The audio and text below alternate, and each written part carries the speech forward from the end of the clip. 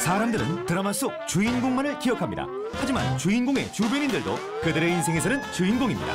드라마 속 주변인들의 인생 이야기를 만나보는 시간. 해피타임 색다른 극장.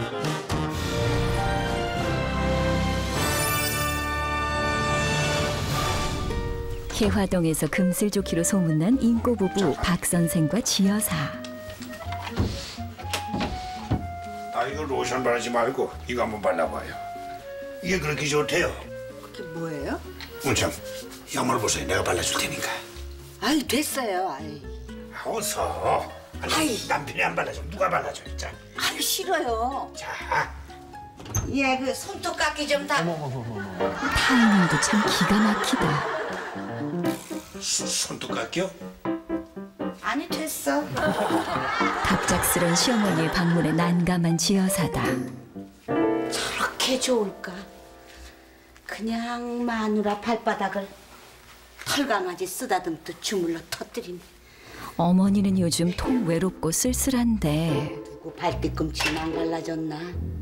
그저 마누라 발바닥만 눈에 들어오고 아유 어떡해. 서운한 어머니 아유, 마음도 섭섭해. 몰라주고 박 선생과 지여사 방에선 오늘도 깨가 쏟아진다. 당신 지금도 고우지만 옛날엔 아주 완전히 영화 배우였어요. 완전 해당화에 해당화 피우지는 숨마을에 절세 따라 가버린 총각 선생님. 가만있어. 이 노래 제목이 총각 선생님 맞죠? 아닐거려? 그럼 우리 네 개예요. 난 총각 선생님은 당신 아니고 뭐네 개? 뽀뽀 네 개예요. 무슨 뽀뽀요?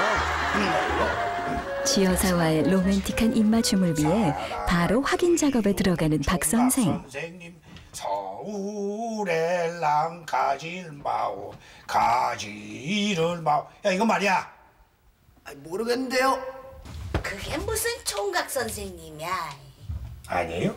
섬마을 선생님. 박 선생은 내기에서 치고도 싱글벙글인데 아니래요. 서울마을 선생님. 당신 이겼으니까 내가 해줘야지. 아유 됐어요. 아니에요. 내니까 해야 돼요. 뺨 돼요. 애미 그 노래가 막 하필이면 지금 들어오실 게 뭐람. 박 선생 부부는 난감한 상황에 그저 웃음만 나온다.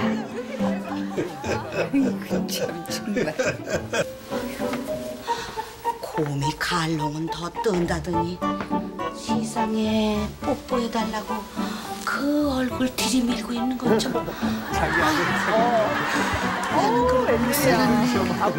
입술 내밀고 있는 아들 내미보다 뺨 대고 있던 며느리가 더 미운 시어머니. 그래도 어쩌랴 미우나 고우나 하나뿐인 며느리인 것을. 애미 목욕 가냐? 예. 아유 그럼 잠깐만 기다려 나도 같이 가자 기다려 아유. 가자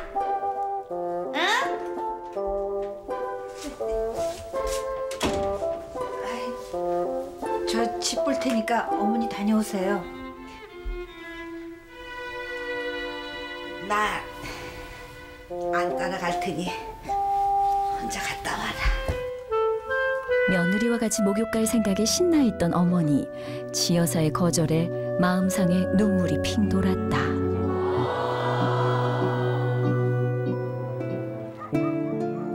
고래 싸움에 새우 등 터진다더니 섣불리 어머니의 편도 아내 편도 들 수 없는 박 선생만 중간에서 고생이다.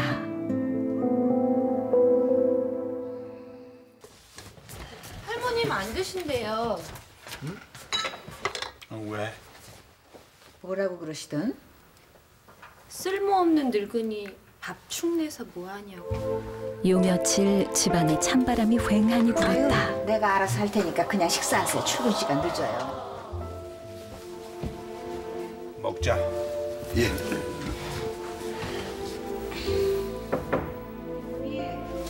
단식 투쟁에 들어간 시어머니를 보다 못해 지여사가 나섰다. 아저 아침 아침 드세요.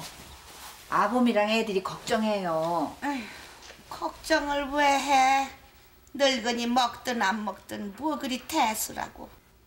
아이, 저 어머니한테 못할 만한 거 아니잖아요. 나 아침 생각 없다.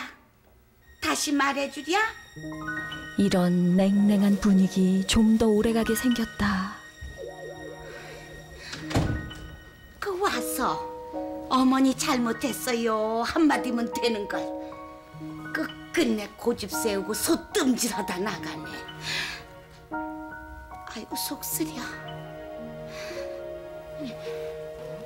투쟁이 계속되고 어머니를 위로해주는 건 오직 TV뿐인데 오늘은 한국 무용에 푹 빠졌다. 기왕이면 제대로 한번 해봐야지.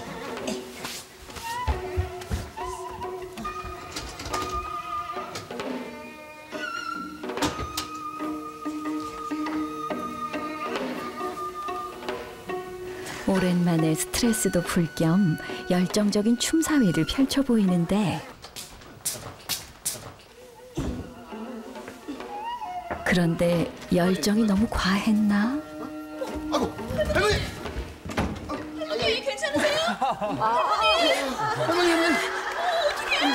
손주내외가 그 모습을 오해해 집안이 발칵 뒤집혔다.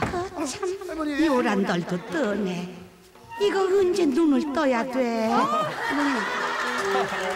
어머니의 의도는 그게 아니었는데 일이 묘하게 됐다. 아이고, 음, 나는 괜찮아. 에이. 에이. 아 누구 죽었어?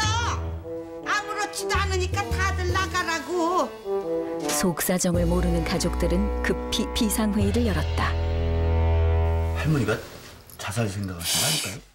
말 되는 소리를 해. 어머니는 그저 쥐구멍이라도 있다면 숨고 싶은 심정이다. 이게 무슨 망신이야 애들 앞에서. 에휴 참 주책 없이. 당장 내일 아침에 어떻게 얼굴들을 보나. 사정을 모르는 지여사는 모든 게 자기 탓인 것만 같아 죄책감에 있어요? 괴롭다. 제가 부족한 탓인 것 같고.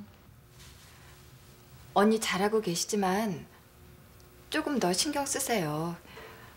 살살거리지 못하는 거야. 천성이고. 해보는 데까지 해볼게요. 앞으로는 좀 더 살가운 며느리가 돼보기로 결심한 지여사. 목욕 가시게요? 가려워. 나 그럼 댕겨 오마. 이,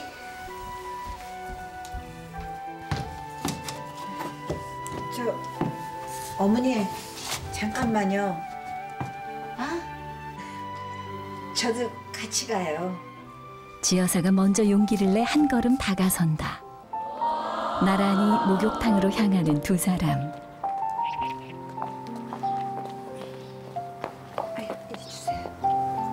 부부 싸움은 칼로 물베기라는데 고부 갈등도 마찬가지인가 보다. 이제는 조금씩 서로에게 마음을 열어가는 두 사람. 이대로라면 앞으로 그 어떤 위기의 순간이 찾아와도 함께 이겨낼 수 있지 않을까.